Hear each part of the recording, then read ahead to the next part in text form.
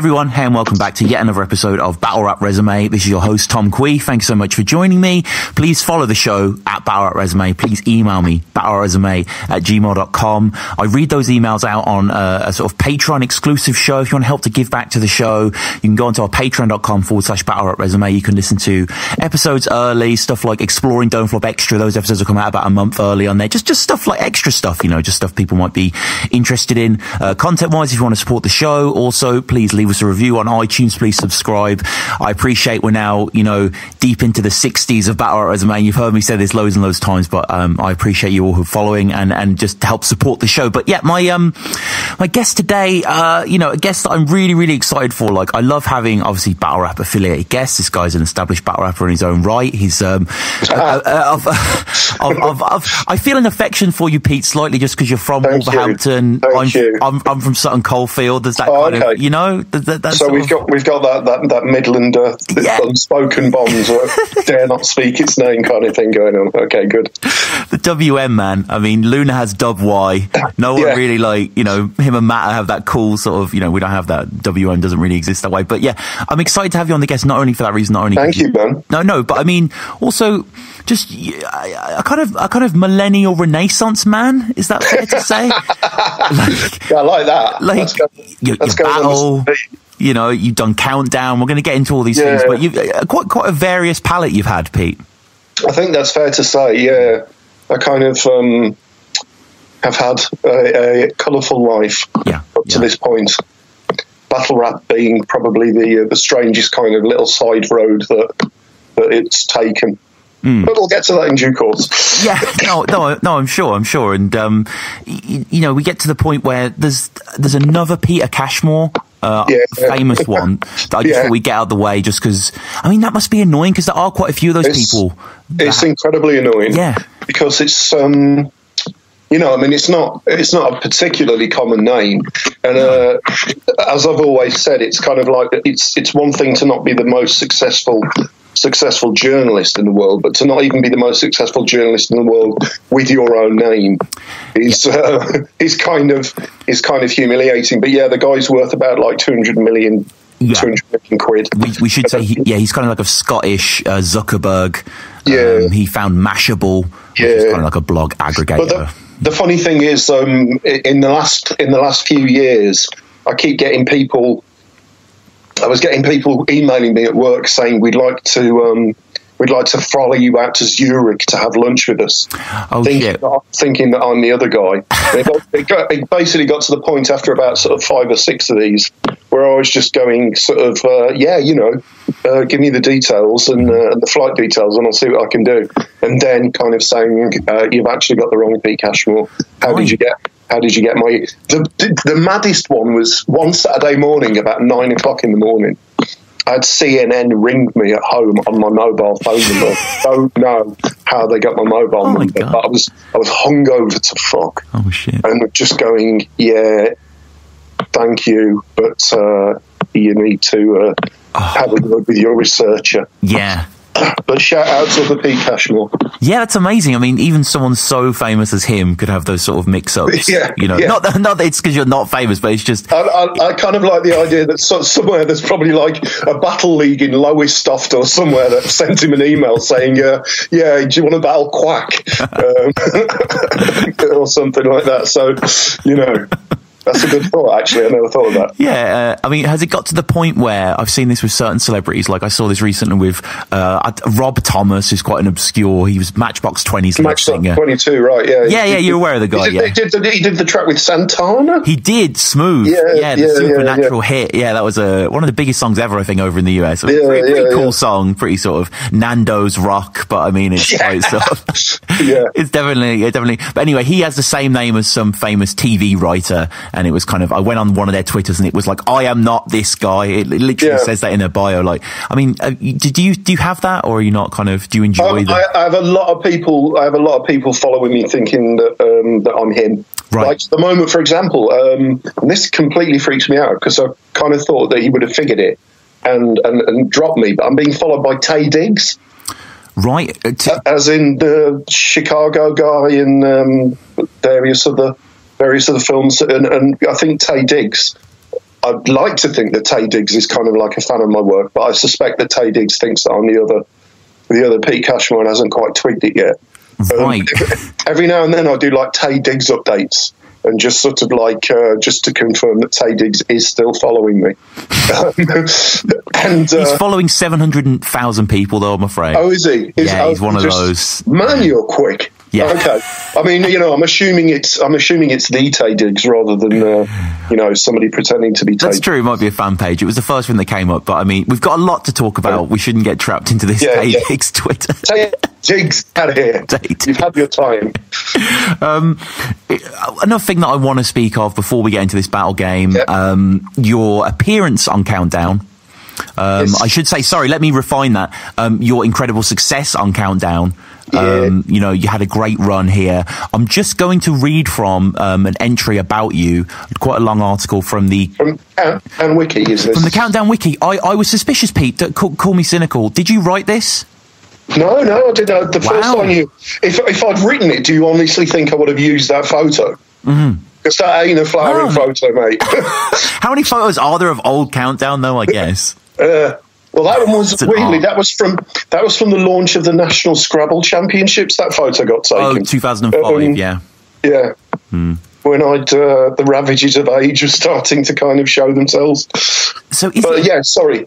No, no, no, no. Yeah, I just I, I find this. I appreciate people listening to the show will be like, "This is a battle rap show," but I just I don't know the fact that you're on countdown. Like, I'm not even this giant countdown fan. I just think it's very Yeah. cool. You know, it is it is a really good game. So, um, yeah, we'll just we'll just sort of annotate this verbally then. So this is from Pete Cashmore on the Countdown Wiki. Pete Cashmore, known as Peter during his original series. Yeah. So what what was the change? Um, did come across do you know? I, I honestly don't know. No. I don't know. They just uh, I went from being a Peter to a Pete. okay, okay. Um, no idea. Pete Pete feels a bit more, you know, nuts Yeah, magazine-y. approachable. Yeah. yeah. Yeah, definitely. Um, so we get to uh, yeah. So uh, you were a champion of Series Thirty Five. So the game had been Yep. around quite a while then. But like Yeah. twenty years yet? Was it Yeah, eight yeah. of I mean, started? it was uh, it was ninety seven. Yeah, that was ninety seven. yeah. So yeah, it'd been going about sixteen years by that point. Mm-hmm. But it was still in the old format. They've kind of like bumped it out to forty five minutes now, and there's more anecdoty stuff and more rounds, obviously. Uh, I was doing like the short form vo- version of the game, and would actually kind of like to go back Mm. and try out the long form because the the old skills are still there. You still play? I see on Twitter, right? Yeah, yeah, yeah, Yeah. yeah. At, at Sweet Cashmore, if you want to basically periodically Not the Mashable me- guy. See me boasting about the fact that I just got a nine-letter word. Yeah, I've seen that. Like, there's the talk of nines, isn't there? Like, that's what's to be Yeah. aimed for. That's a body bag of a sort of word round. Yeah, yeah, and it's appropriately, you know, you know it's an appro- like an eight. What's an eight? But a nine, we know, we know what a nine is. And, Mm, uh, uh, so yeah, it all comes back to the guns. You apparently first appeared on Countdown the 7th of April 1997. Um, 24, so quite young to be on the show, Yeah. actually. you Yeah. know. So Yeah. I don't know whether it was then, but it, it's sort of the age ranges, I think. But back then, I guess, was it more older people or was it still? Um, yeah, for the most part, I was up against people in their like in their fifties and sixties. Alan Cannon was one of them that you beat. Um, Alan Cannon was the guy that I beat first. Yeah, that sounds like a fake name, like Alan Cannon. yeah, actually, we, Like a wrestler here name. We, here we are again. we're, we're, it's a great rapper name. I mean, it's like any relation to Pete Cannon? No, You no, know? no. Um, you won four more games in Series 35, including Uh, three scores over 60. Yeah, which which is pretty good. Someone that you lost to and then went on to face in the quarters was it was was this Natasha Kersey? uh, semis. Yeah, Semis, Uh, yeah. yeah. Uh, Natasha Kersey. Wow, wow. Yeah. And it's very cool because in some of the uh, article it shows you words that were spelt and sort of like you know the um, the synonyms that you got. Obviously, the crucial conundrum, the, the T time T's or whatever. So you Yeah. had uh, the word is giant, then USDJ, and Yeah. within one second, do you remember? You answered correctly. Yeah. Do you remember what you said? Yes, um, it was adjusting. Adjusting, yeah. The um, interestingly enough, a little bit of behind the scenes gossip Please, here. Um, that's what we're here for. White, Whiteley, rest his soul, Yep. had um, had written down adjusted on his pad. So when I buzzed in and said adjusting, and he said it's not adjusting, both me and the other dude were like looking at each other, going, uh, "Yeah, it is."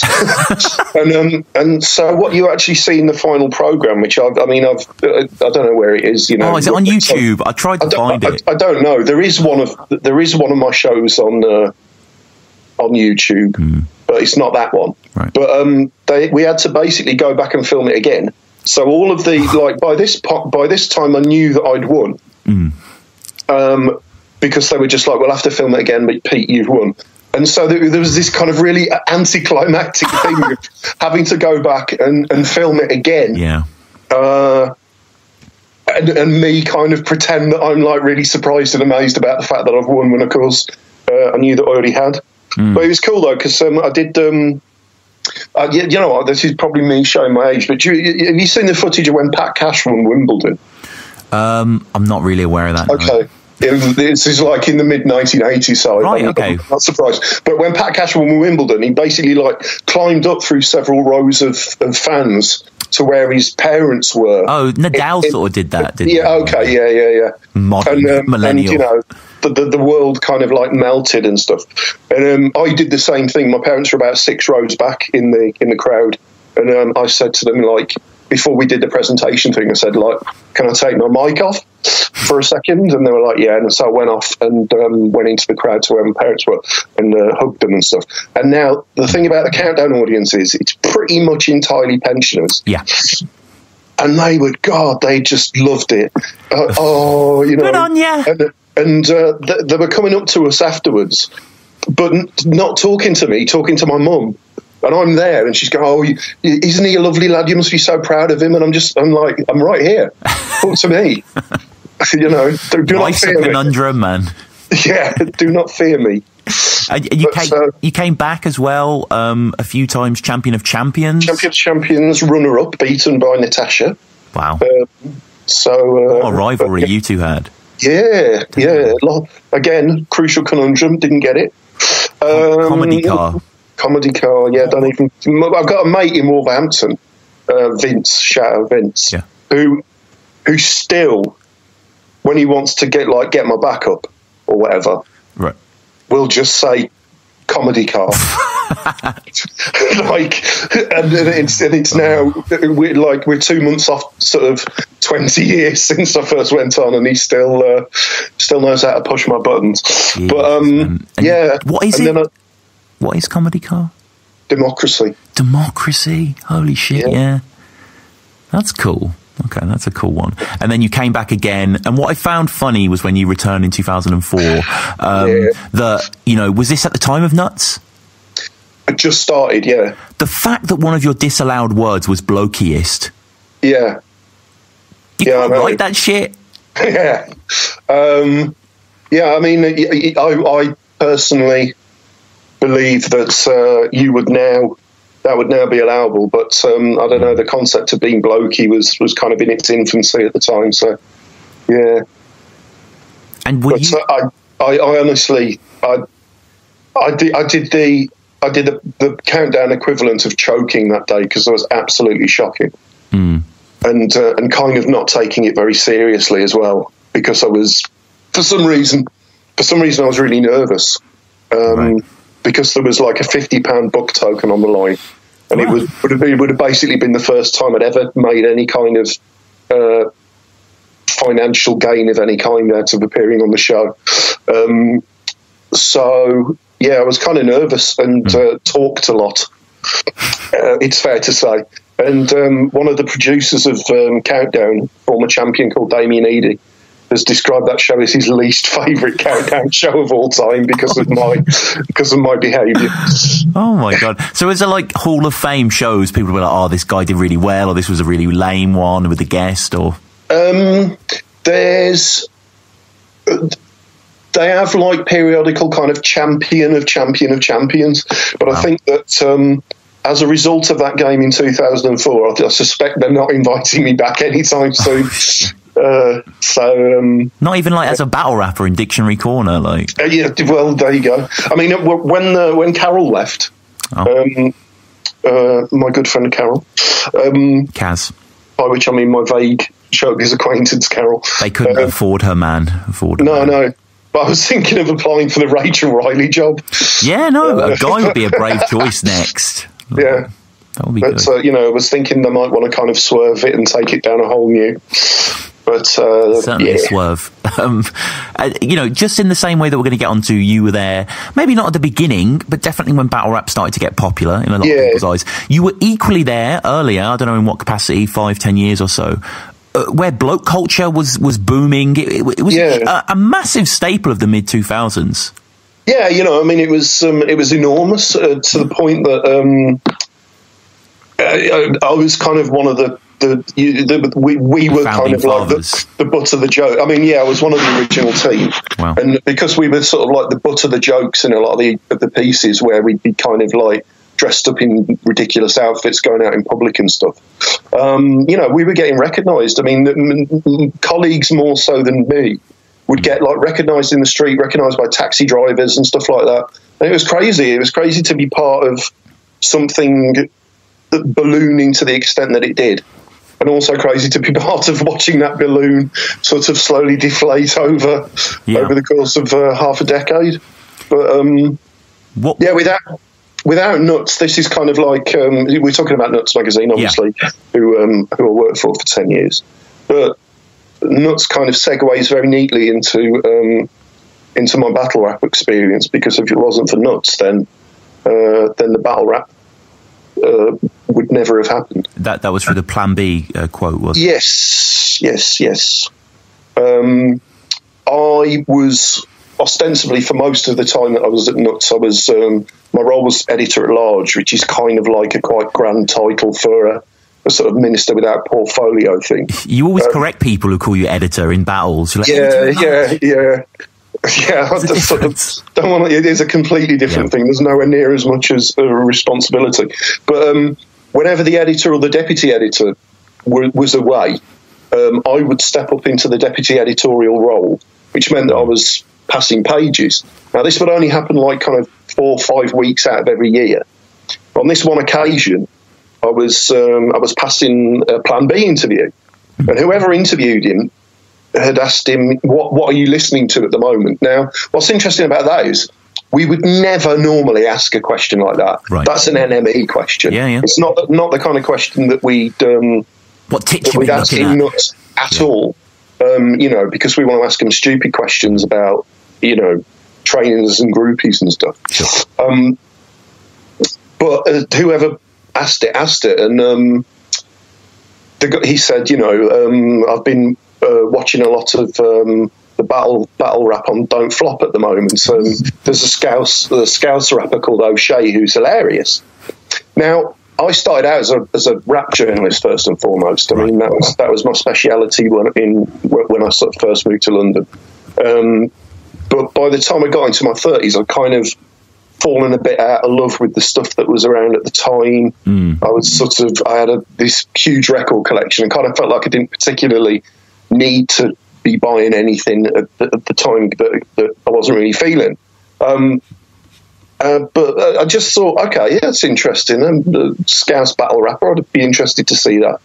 And so my first taste of it um, was, I mean, I'd watched sort of Stig battles and things like that, but but kind of in a slightly detached. Yeah, I can kind of I kind of appreciate it, but you could.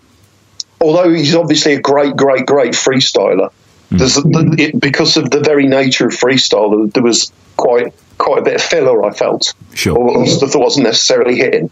And then I watched, um, so I watched O'Shea against Dirtbag Dan, and um, and it was kind of like it was kind of like one of those light bulbs above the head uh, moments. You know, it's just like this is absolutely amazing, and this guy's amazing. And so I, I started kind of wolfing down O'Shea battles. Um, I think I watched stuff like Frank Stacks and the first Censor. Um, and then through Osh, um, I saw Ocean Ricky against um, uh, Kong and Giz and thought, that's great. And this guy, Rikky Riley's really funny as well. So then through through that, I got into watching Rikky Riley stuff, him against people are like, oh God, Conquest, dear God. Sure. um, uh, when uh, obviously um, he he kind of pulls out the limerick scheme, which I thought was. Uh, which I thought was fantastic, and I started getting into uh, getting into him, and then through through him, sort of got into innuendo, Yeah. um, and uh, yeah, stuff like innuendo against unanimous. I think it was was one Big of the Big- yeah one of the early ones that I watched. Unam was great in that. Yeah, and then um, and then pamphlet Oh, and and, and various because um, it was, I, I, sorry I, I watched definition stuff. I watched um, definition against pH, Mm-hmm. and um, and then sort of started discovering things like Soul Khan against QP, Yeah. and um, uh, Carter Deems and who was it? Uh, it was Carter, Carter and Fresco. wow! Back then, If I imagine that against um, Soul Khan and Dirtbag Dan. I'm gonna look that up. that right? Yeah, I mean that's, that's Yeah, that sounds plausible. You know, Yeah, Um, but anyway, uh, so I just was like, okay, this stuff is this stuff is fantastic, Hmm. and and obviously for somebody who works with words, I was just like, you, it, it was like I say, it was like this. It was like a, you know, it's a, a return to real lyricism, and ly- lyricism kind of deployed in a in a kind of combative way, which just really appealed to me. And around about that time, just when I was like starting to get sort of vaguely obsessed with it, um, I was working for the writing for the Guardian guide as well, and they got in touch and said, "We've got a spare page coming next weekend. Is there anything that you want to write about?" And I said, "Well, yeah, actually, I want to do a, I want to do a profile of this." Um, of this Scouse battle rapper, who, as far Ah. as, who, as far as I can see, seems to be one of the best in the UK. Um, and um, they said, "Yeah, go for it." And so I did. Um, uh, O'Shea's got the got the the headline was something like O'Shea's got the rhymes that bite, which is sort of because I made reference in the piece to his teeth, Right. and uh, and um, you can still find that online actually. Yeah, it's I, I've just found it, Pete. It's uploaded the 24th, so yeah, it's in the guide. Saturday the 24th, I should say, of July 2010, which Yes. is crazy. Like, because it's just weird for me to think personally that I wasn't I wasn't in battle rap probably another 18 months or so. So it's like Yeah. you know uh, this was still going on. But yeah, um, written by Pete Cashmore, and you just you basically do all his best lines from Dirtbag Yeah. Dan to ZT to Yeah. East Anglican MC Censor, and you just quote him pretty much as like a nice paragraph saying Plan B has been effusive about him in interviews and his appearance for the Yeah. Flop, uh, marking out as being a cut above the rest. Uh, so cool that you were putting your passion into that and putting it in somewhere like the Guardian, which now is huge, but even back then was just you know, I mean, it is like the guy, the guy has mean, got a huge span. there's some there's some fantastically there's some fantastically Guardian comments in the comment section. Right, okay. Uh, it's like you know uh, homophobia and, and Yeah. misogyny and stuff, which uh, I think we can touch upon later because it's something that I've, I've kind of got stuff to say about. But um, I I found him on Facebook Hmm. and I dropped him a line and said, um, "My name's Pete. I uh, work for the Guardian." Um, doing basically, I've done a profile of you that's going in the, the Guardian guide at the weekend. Um, just thinking, you know, I'll let him know. Yep. And um, and thus began a friendship that has uh, that has endured for um, you know for the last sort of six seven years. Uh, that ended up with me going to his to christening, you know. Uh, because obviously he was thrilled to bits. I mean, he was still still working at Morrison's at the time, Yep. and so for um, for him to be to be in the Guardian was obviously like quite a big deal for him. But I um, I also um, got in touch with her not long after that and sort of introduced myself and said, you know, I think what you guys are doing is uh, is pretty amazing. I've got these. I've got a couple of platforms that I think I can help you with. Obviously, you know, you saw Ocean the Guardian, but I said, um, could you, do you think, put together like a kind of vaguely unoffensive but funny punchline reel, and we'll stick it on the Nuts website? Mm. And um, Krug, Kruger, I think, um, edited one together that uh, that, that went up. That was kind of like, I guess, sort of. When you think about it, it's kind of like a prototype kind of punchline of the month sort of affair, and um, and uh, yeah, and from there on, it was. Um, I, I just kind of watched from afar for a bit, thinking that you know it's it's it's great to watch this stuff, but it, on a on a realistic level, you're you're kind of um, you know you're 37 now. You're not going to go to one of these events, and then of course April Fools the next year. Uh, by that time, I'd gone to Liverpool to, to interview uh, Dick Limerick. Right. And uh, and spent the day with um, with Rick and Osh. And I'm wondering if anybody else came out because I, I, I don't know if well, they were trying to get the calcium kid out, but he didn't come. Right, right. Um, uh, and had a very fun day in Liverpool. Kicked over at Rick's place, and um, and again, you know, just kind of like had a great laugh, cemented cemented the, the friendship a little bit. Yep. And then um, April Fools came around in, in 2011, and it was uh, Ocean battling um, it? Scissors. Yes. And he, he was like, um, you know, you should come. Mm. And I uh, and I did, and that was that was my first event, and um, and I was assuming that I was going to stick out like a sore thumb and be like so twenty years older than everybody there. Right. But there were people like, I mean, Cosmo was DJing, uh, English was there, Mark Grist was Right. there. Battle Mos Prob, didn't he? Battle Mos Prob, and obviously I met Mos Prob, Yep. who uh, who went on to become, uh, you know, one of my one of my best friends in the world. Um, and uh, a lot of them, there were a lot of people there who who were sort of slightly older who knew that I'd written for Hip Hop Connection, and so there wasn't kind of like that. I must I must prove to you that I am down thing, um, because people people were like, yeah, you know, you you wrote for Hip Hop Connection during the golden age and uh, and, and stuff, and um, and I just thought, well, this is fantastic. You know, I was sort of like I was quite bored in my in my actual outside of work life, Right. and I thought this is actually something that I can really get on board with, and this is something that that I can see myself like repeatedly coming back again and again, and uh, so it proved. And that was your first appearance uh, on camera in a sense. You're in the crowd, but your Yeah. first actual judging, you know, this is Pete Cashmore sort of thing. Is that the one with the pint of wine? No, no. The first judging Oh, right. that I did, first judging that I did was um, uh, Jefferson Price against Therapy, Right. Okay. which was filmed. Which is not happening right now. yeah, um, yeah. um, they uh, we got kicked out of the Fiddler's Elbow. Um, shout out to Fiddler's Elbow, classic. Oh, uh, man. classic venue. What a great venue it is! It's just perfect. It's the classic venue in my Yeah. eyes. It's the venue Yeah. of battle rap. Um, so yeah, I judged uh, Jefferson Price Therapy. Um, the the pint of wine thing was um, Yeah. was my third one. Right. Um, I went to. I want to say it was. I want to say it was to the test, but I'm not sure it was. Wasn't it a Brighton event? Now the se- the second one I went Okay. to was um, was at uh, Brixton Jam, Mm.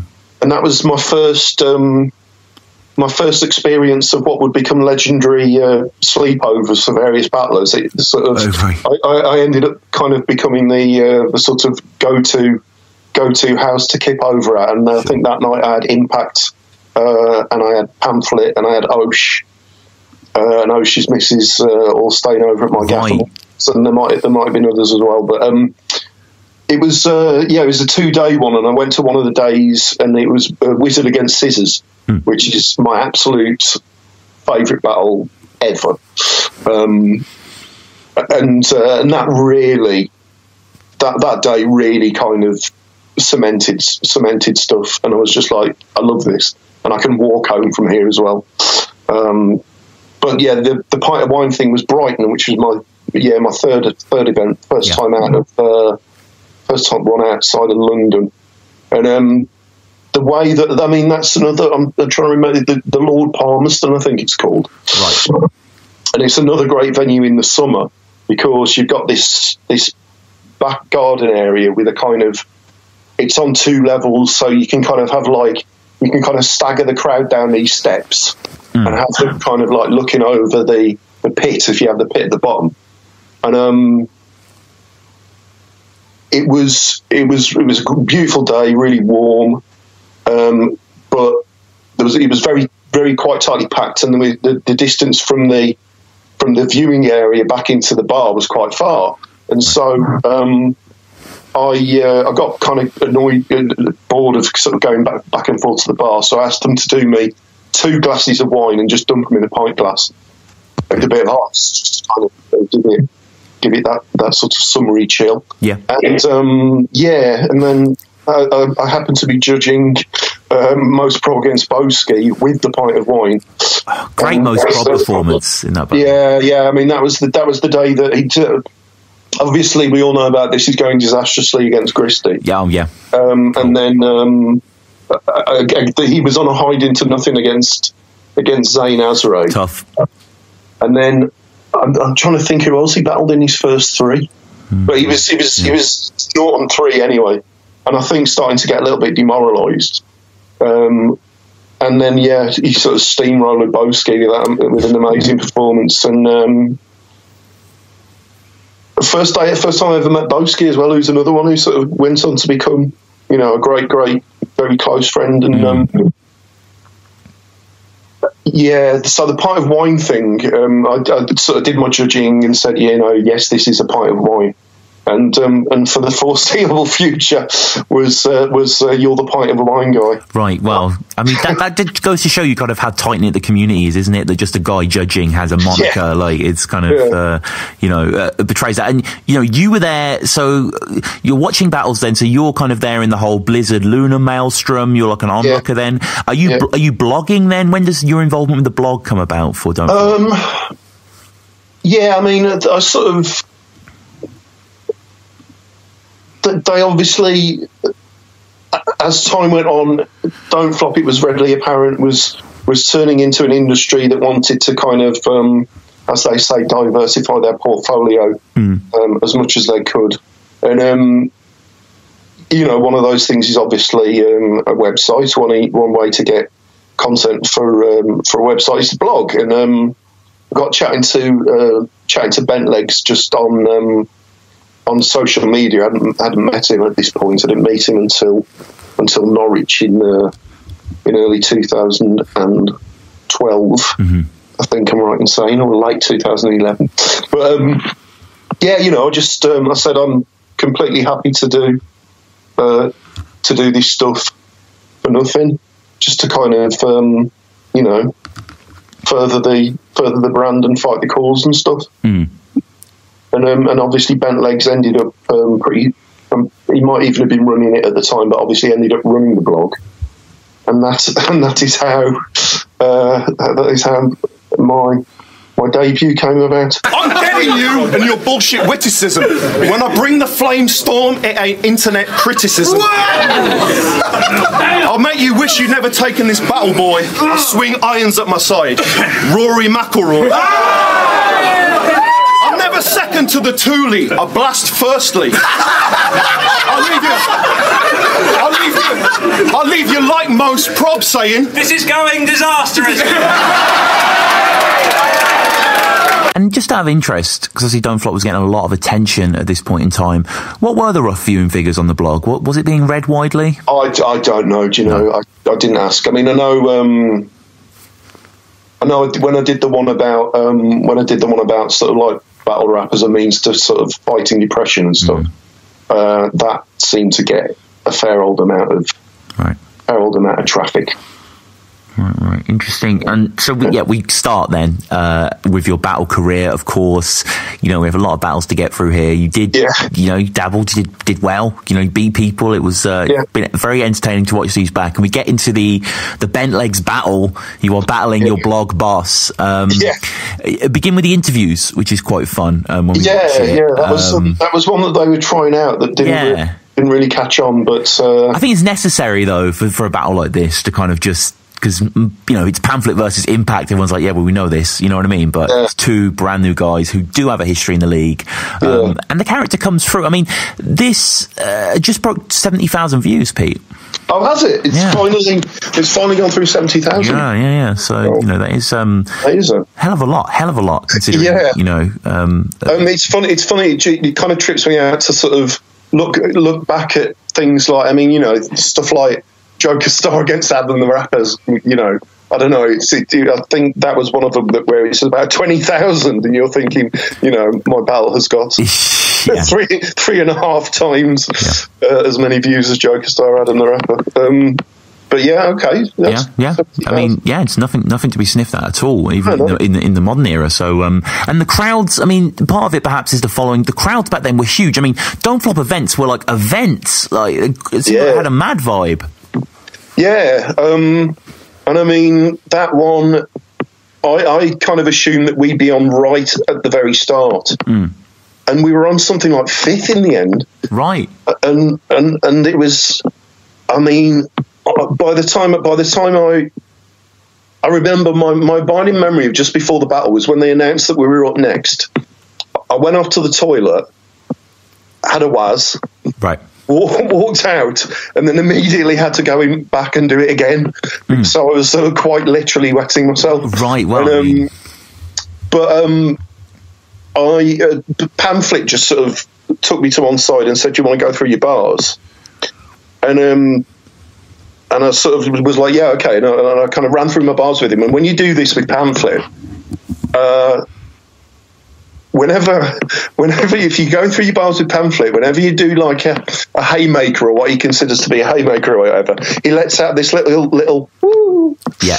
and um, and I did my first round, and um, and, it, and there were a few woos in there. I mean, he sort of like wooed. Obviously, one of the I think one of the the lines that people uh, seemed to pick up on was um, bringing slaughter to Wales like a Japanese harpooner, and he um, he flipped out at that one, and. Um, and I was like, okay, so maybe this isn't going to be as completely terrible as I thought. Um, got up there, and I'm not kidding. When when it was like 90 minutes, 90 seconds on Pete, let's go. My mouth just completely dried up, like almost immediately. Yeah. And uh, but then after on my second line, I got a big laugh. And once that first big laugh was out, I was like a little bit calmer and, uh, and kind of got through it. But I was terrified. I mean, Um, as, a, fond of saying this. I've said it probably one too many times, but um, I, I mean, when I was working for Nuts, I went to Iraq during the Iraq War.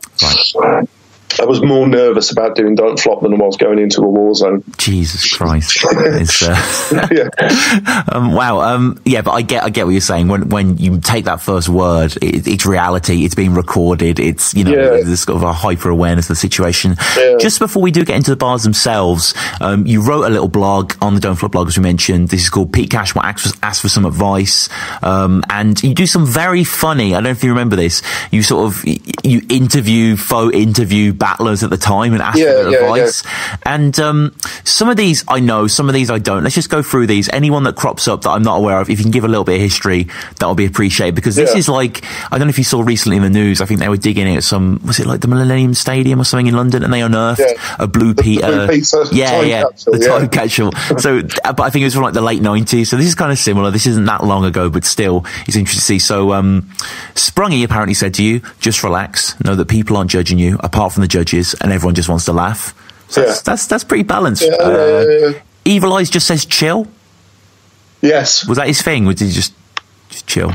yeah, yeah, Toucan, um, he, he taps into a vein that you describe in the battle itself. He says, "Don't be Callum Boom." yeah, yeah. So Because of course, by this point, um, yeah, by this point, Callum Boom had uh, won the affections of rap- battle fans everywhere by calling uh, by calling Impact a black waste Right. in the uh, in in their their uh, yeah, their, their trial, yeah, yeah, yeah. which was uh, one of the uh, the most one sided affairs I think I've ever seen. Um, and uh, yeah, so um, he was sort of like still getting it in the neck then. So I yeah, yeah kind of. What's the uh, what, what, can I rhyme with Callum Boom and why would I mention Callum Boom? Uh, I, everyone in this room hates you, kind of thing. So uh, yeah. LJ says, "Don't let her lose the footage." Who's LJ? Okay. Um, well, I'm presuming it's not LJ, the the female MC from Nottinghamshire. It's LJ. No, Um, no, no. It's uh, just the two letters rather than. I don't. I don't know who that would be. Okay, okay. Do you know what? It's, I um, didn't know who that was either. He's a, he's, a, he's on. Um, I think it's a guy called John Joe Lyons Right. who's on who's on my Facebook, uh, and I think it was him. But um, whether he battled or not, I don't know. But um, clearly must have must have done. Wow, yeah, But I- I, honestly, I honestly don't know who that is. Curious. Shout out, shout out to the other LJ. um, Emerge MC as well. Um, don't, Yeah. don't imagine your opponents in their pants. That makes you gay. Um, who, who was Emerge MC? I've recognised the name. Emerge but- MC Emerge MC's still doing the rounds. He battled on Right. Gift of the Gab, battled on Gift of the Gab the Oh, other okay. day. In fact, and I think he was battling. I might be wrong, but I think he was battling Templar Surfer on uh, on Gift of the Gab like a couple of weeks ago. He's um, he's from Croydon. He's uh, he's a ginger fella, and he's battled a lot. He's one of these people who's battled a lot, but only I think ever battled once. He battled against Ketz. Remember Ketz, who's also ginger and also from Croydon. I don't actually. Um, okay. Uh, they battled in the they battled each other for don't flop in the graffiti tunnels, oh wow. Okay. Yeah. um, and I remember that day because I took a, I took a girl there on a date. It was like, uh, yeah, you'll enjoy this. Um, it was the day that Pam- Pamphlet and Bleak did their football battle. Oh, okay. Yeah. Yeah. Um, Boski battled Junior Lapel, Right. and um, and the opening battle was Ketz against Emerge, and I think oh hang on, there was another one as well. It was LNC against Cracker, Right. maybe. Okay. Yeah, LNC against Cracker. Um, but anyway, um, Ketz and Emerge had both apparently been, by all accounts, been up for about four days because they're mates, and um, and I think that was basically the last time either of them ever appeared on Don't Flop because uh, they were so bad. Uh, I, don't, I don't believe the footage was ever released, which is even in, in you know, even for something Yeah. as big as Don't Flop, it has to be very, very bad for the footage not to go out. That's true. Um, But, uh, thankfully, yeah. this this battle was very good, and and the footage Yeah. did come out. We are back to yourself versus um, Yeah. Bentlegs, uh, Don't Flop, April Fools, Concrete.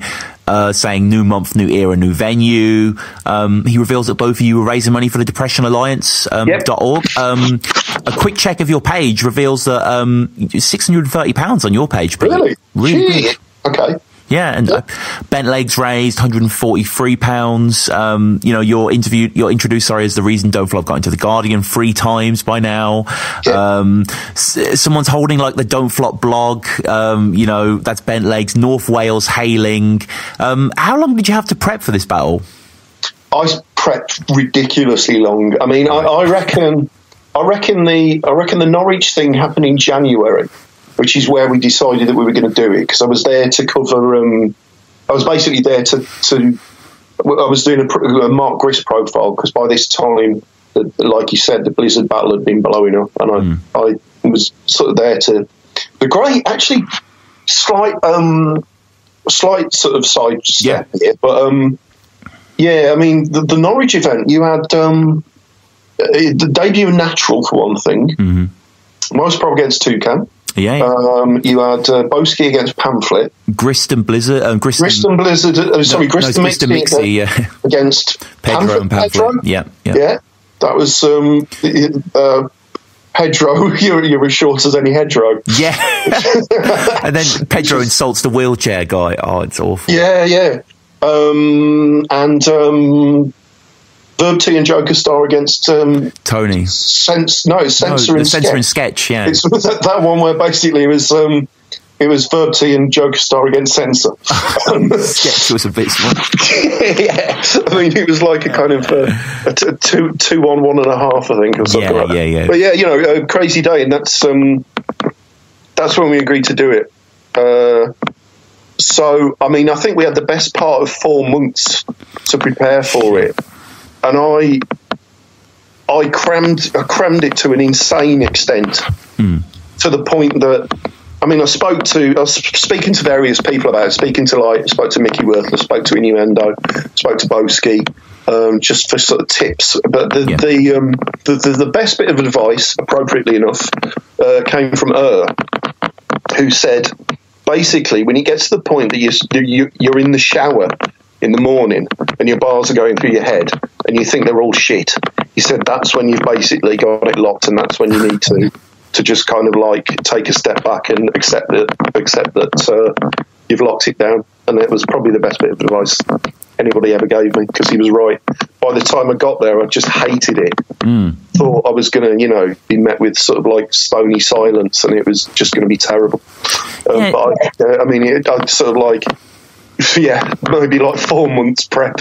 Yeah, I mean that ramp is interesting, isn't it? Because it's kind of I, I was I recently learned about sort of MMA fighters and the way they do it is they're sort of training to the peak, and the peak is the day of the battle. So it's well, you know, so it's like learning your bars maybe a week before, so you have them locked in the night before. I don't know, rather than because you can just have that nausea, can't you, to your own Yeah, stuff? Where it's just yeah. like this isn't clever, you know, uh, damage mentally, fat dick dentally, you know, it's like Al licks Um, I mean, lots of stuff anchored to his name at the start of your first, and you know, Yeah. the word flips they're they're great crutch, and I don't mean crutch in a negative way, but you know, Yeah, I mean, I just sort of um, uh, the Alex Bentley. I just thought, hang on a minute, that sounds like gayness, and right, um, you know, kind of went down that route, um, which was something that over the course of time I was just like, how about we try to avoid the kind of homophobia and misogyny that that uh, the scene gets accused of all the time.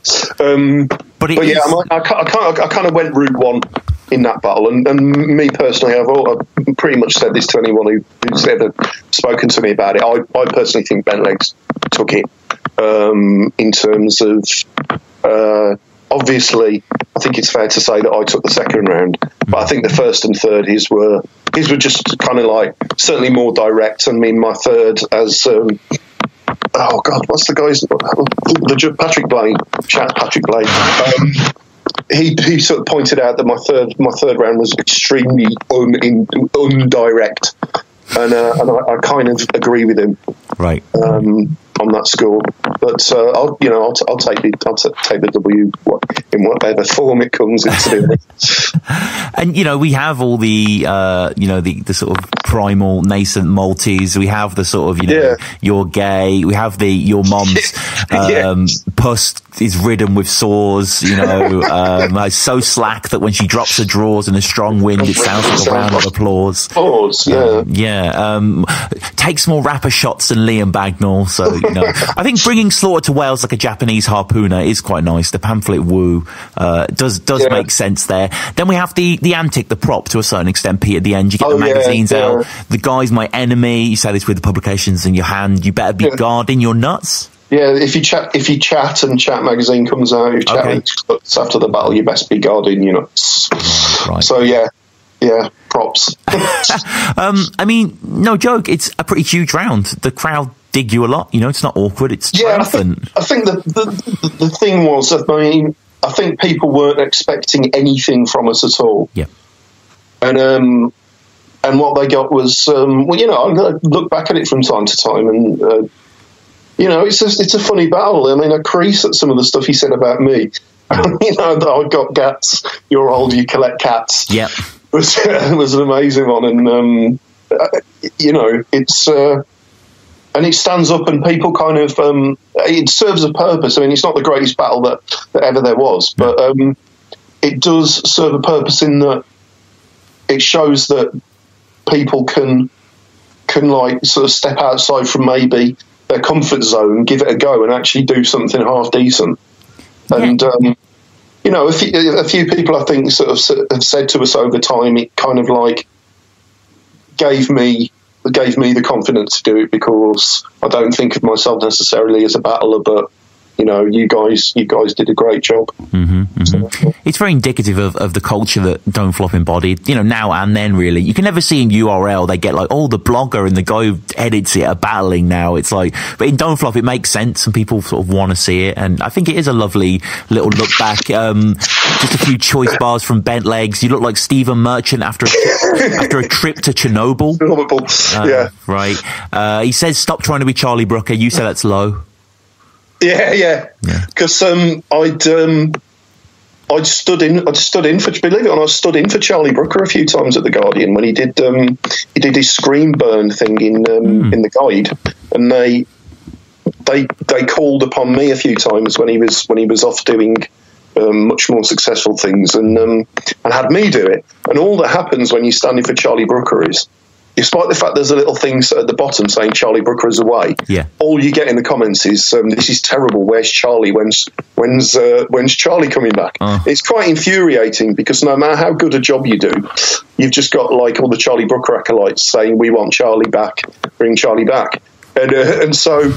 Sort of the Charlie Brooker thing was was is kind of like my soft white underbelly, where where if you hoof me, it really hurts. And um, yeah, so so when he pulled that one out, I don't know if I told him about this or whatever, but um, I was like, "Oh, you absolute cunt, you!" uh, yeah, yes. Uh, stop trying to be Charlie Brooker and splash out on a hooker. Was, Yeah. uh, Yeah, yeah. that, was, uh, that was nicely done. Nicely done. And, and we have one of those timeless bars in your second, which is gum round based. Yeah. Um, by the time I finish squeezing, you'll miss breathing. Got a terrible Arsenal like this season. yeah, this season. Wow, Um, Yeah, yeah. I mean, the sort of the the gun bar thing. I've got no idea how. Do you know what I think it is? Like I say, I mean, I've been, I've been listening to.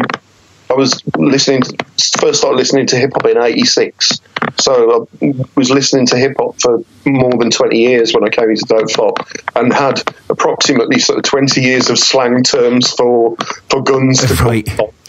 um, um, there was uh, there was one that didn't make the cut, um, which was um, in, in in in the late 1980s. One of the slang terms for gun was weasel, um, and one of the one of the lines I think. I,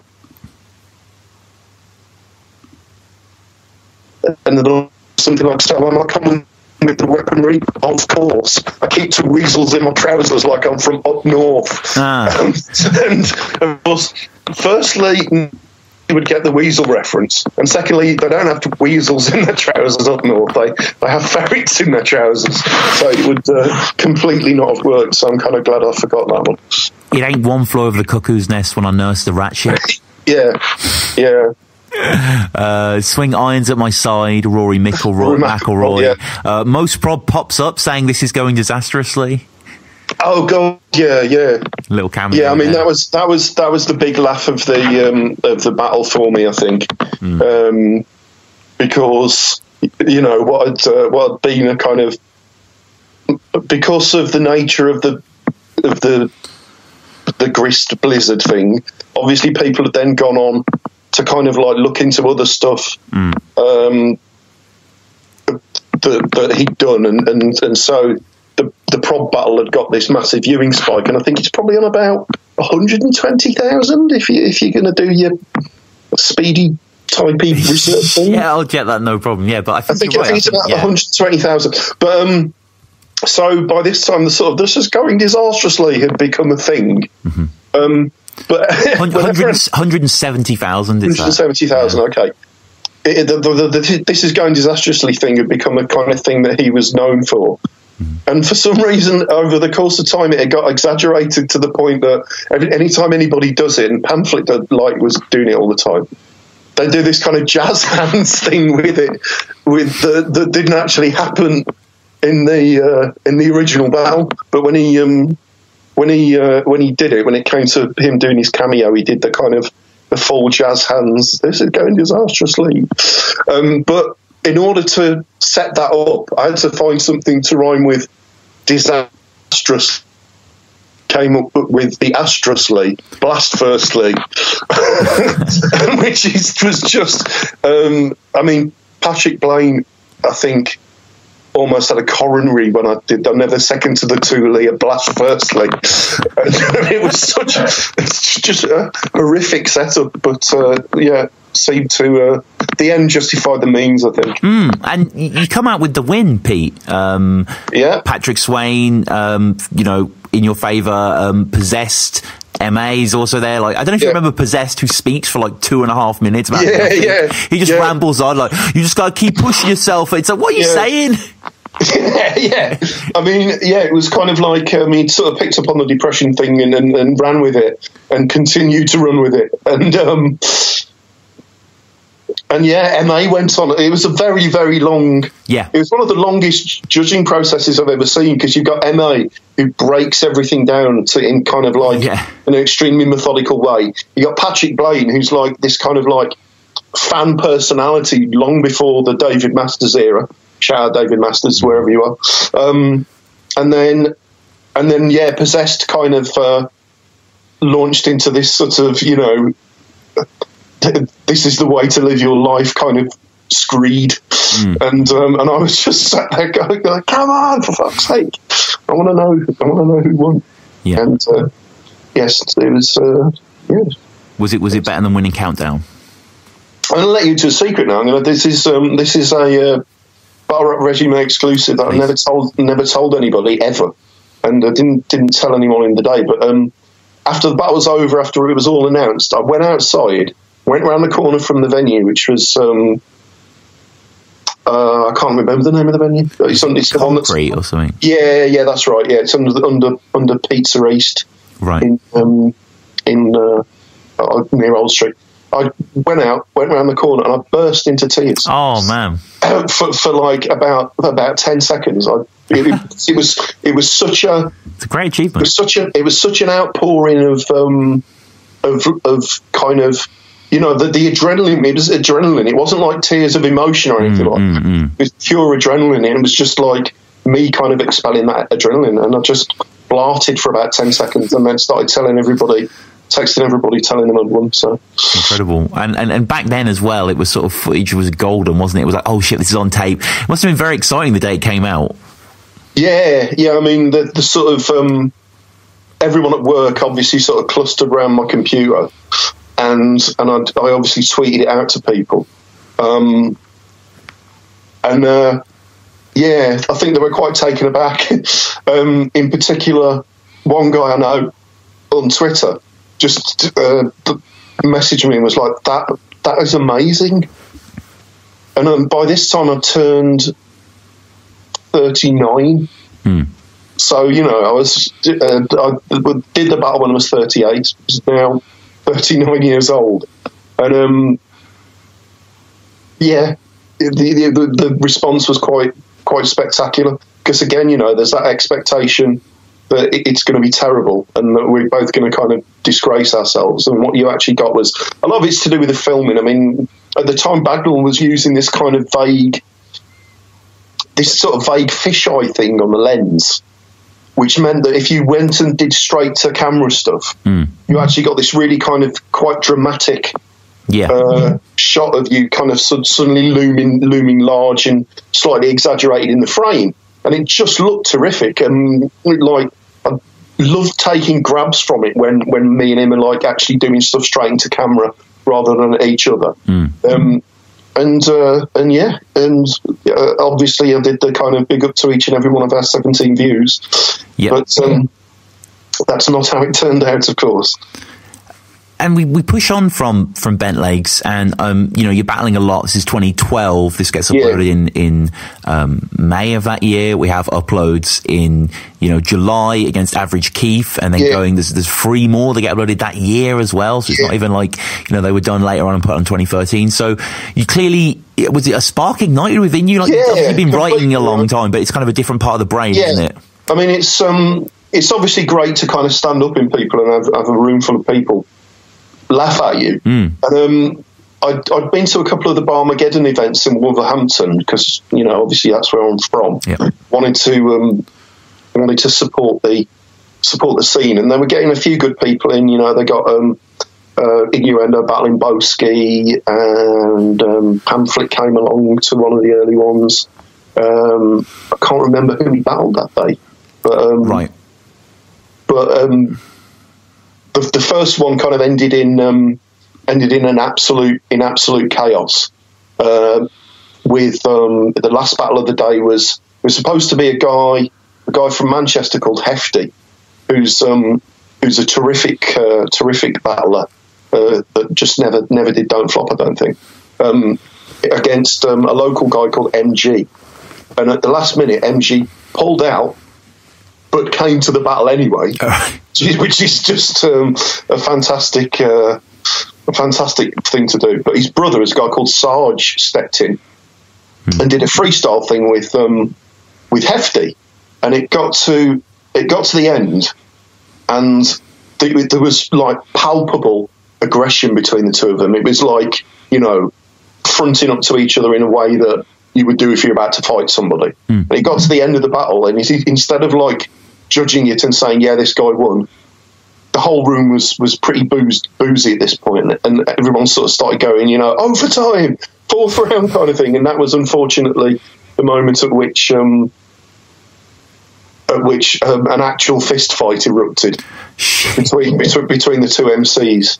Um, some guy got glassed. Oh shit! Oh yeah, that, got, that gets referenced. Standing it? standing next to Hefty, and as Hefty's been keen to point out to me, Hefty did not himself got get glass, but somebody did. Uh, in the midst of all this this massive brawl between Mancuni and uh, Hefty and his people and Wolverhampton people, mm. Pamphlet is in the middle of it all, going. Guys, guys, it's just battles. It's just battles. um, but yeah, we, we got out of there. Me, Innuendo, Boski, and I both skin Pamphlet just sort of went off and uh, found another pub. But um, I was just like, okay, if they can if they can iron out the if they can iron out the uh, the fighting and um, and maybe if we can kind of help them get a few better, better people up. Um, I'd quite like to. I'd quite like to battle in my hometown. I think that'd be terrific. Mm. And uh, I'd met Keith at the the tryouts in uh, in January 2012. I forget who he was battling. Um, I just, he was he's a lovely guy, Keith, mm. and I just thought, you know, I want to stick with battling people that I like and that I know and that I've had some sort of like vague connection with. Um, and so sort of suggested to the guy who ran Barmageddon, I said, you know, I'm local from Wolves, uh, you, uh, and sort of said, you know, I battled in Don't Flop against this guy Bentlegs, and he'd, he'd seen it. Hmm. And um, and yeah, so I got on the kind of middle of the card for uh, the second Barmageddon. Welcome back to Wolverhampton Average Keith. Was your journey here pleasant and relaxing, Keith? It was. You know, last time you were here, you smashed it, Keith. You think that's happening today? You fucking bad shit, Keith! I love the um, Barmageddon free. This is, by the way, what um, you know, you're you're oh, is it? yeah, you're introduced as editor of, of Nuts, but you say, yeah. as we said, you're yeah. not, you're editor at large. Um, a really fun intro of yours, quite aggressive. The whole like you're smashing it, Keith. You think that's happening today? You're fucking batshit, Keith. Yeah, yeah. I don't know. I mean, I, I don't know where. It, I mean, if no, everybody for people who haven't seen it, the almost the of um, of the first round follows this kind of average Keith semi multi where I with average and then just put Keith in. Mm. And I don't know where that came from. I mean, you know, for for a second battle, it was kind of like a quite quite abstract thing from to try out. But um, yeah, you know, it seemed to work. I mean, again, it was all kind of like pretty root one stuff about um, about like um, his mum certainly proactive on a mattress, Keith, mm. and, and, all that stuff. Um, but um, again, it was. It, it, I was I was at ease very quickly in that battle because got some laughs, but also he choked terribly at the start of his uh, yeah. of his second round, and I was just like, well, okay, if you get everything out in the next two rounds, then uh, then this is a, a, another win for you. Mm and um, obviously did more gun bars. Yeah, I mean they're quite easy to do and fun, I suppose. Yeah, yeah, and um, and then in the third round, just did the the, the, Wolverhampton references that needed me uh, handing out crib sheets to the crowd, and again uh, that seemed to go over very well. The kind of the, the fact that half of my round uh, unless you're actually from Wolverhampton to the point that I need to hand out kind of like a little, a little glossary of terms for people to knew what I was talking about. So uh, interesting on that. Fun mm. day. Mm, yeah, you know, definitely. And, then, and, by that time, I'd, you know, so that was like victory in front of the home crowd, and, and uh, by that time, I was like, right, my this is my hobby now. I mean, who else? Who else is up there on the Wolvo Hall of Fame? Yourself, Double L. Um, there's Double L, who um, I would have to concede is, is, is a more adept battler than I. Sure. Um, who else? Baron Mind. Yeah. Who who was um, around sort of quite early on uh, in in Don't Flop days. Had a bit of a. He's had a, kind of like a late career career blossoming because um, he kind of like uh, fell off quite spectacularly, I think, and then he came and battled for, for Clash Money against Average Keith, and um, and did fantastically well. Um, so yeah, the bear in mind. Uh, a guy called Jay Ruin who battled um, locally and battled for um, uh, Rap, uh, Rapting Wire. Um, there's there's a there's a bunch of guys who don't really battle. There's a Sure. group there's a, there's a group in uh, uh, called um, called Broken Dialects who are very very good. Um, who I keep trying to kind of I desperately was, was sort of like trying to persuade him to kind of get in, get into the get into the battling side of things, but never quite did it. But um, it's all pretty dead there now since Barmageddon. Uh, Skitty moved away. Barmageddon sort of faltered, and uh, the scene is yeah not not too great. Um, the, the aforementioned Sergeant MG. I don't know enough about them to say whether they, they kind of still battle or not. And we, we get to the um, next battle against uh, Rikky Riley. Yeah, Was he highly highly qualified? You know, really Yeah. adept writer, great sort of forgotten. Not you know, not forgotten, forgotten, but you know what I mean. He's not maybe someone, despite facing Shuffle fairly recently, about three Yeah. years ago. That still wasn't, a, you know, still a cool battle though. Um. Wrapped in Wire. I know this very much in my head as mm, two reasons. One, Raptor comes from here originally. Yeah. Um, I think Bizzo battled as well in there, perhaps as well. Um, it's also the league where it has just like giant mirrors on the walls for some reason. Yeah, yeah, yeah. It's um, it's this really. We talk about the talk about the Fiddler's Elbow as being like the perfect venue Yeah. for for battling. Um, Rain, I think it was is the name of the nightclub. Rain nightclub in Warrington is is completely the opposite. it's uh, it's completely not. Uh, uh, a venue for battling at all, but um, they always got like a kind of pretty good turnout. Um, and like yeah, like you say, um, various people kind of pass through. I mean, the, the person who in, in, interested and impressed me most at War events is is probably for my money the, the best. He's certainly the best battler I've seen. Never to battle and Don't Flop, um, apart from maybe like Kinno, uh, which is Jeffers Right. who, who's a terrific battler and also a really, really interesting guy as well. Because um, in addition to like being in some in some great battles, um, he also he doesn't write anything down. He does it all in his head, and um, and just f- forms it in his head and, and, and keeps it in his head, which I think is um, quite a quite a unique thing. Um, but um, yeah, Ricky Wiley. I kind of after Average Keith, I was just like I say, I'd kind of thought, okay, right, this is your hobby for the foreseeable future, and you're gonna you're gonna do this until it gets boring. And I had a, I had a bucket list of people, um, which was um, I wanted to battle Mos Prob. I wanted to battle Jeffers after I'd seen him, but um, the number one was um, was Ricky Wiley Yeah. um, because for, for one thing, I'd um, I'd obviously sort of you know bonded with him over a few points in Liverpool, but also basically knew that uh, he had some dirt on me as a result of as a result of that day. So I thought it'd be very funny. This scummy alley cat's a scally prat, and his mum's fanny flaps frame a massive vast size of the valley twat. The vastness of his, the vastness of his mum's vag is weird. I once went down on it. By the time I had finished, I'd grown it this big.